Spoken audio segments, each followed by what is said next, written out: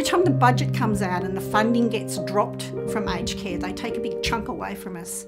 We are one person to so many. Um, the numbers vary from anywhere from you know 20 to 60, especially on a night shift. Carers are giving their heart and their soul, and it's the government that keep taking the funding away all the time. And they need to damn well fix it and fix it in a hurry.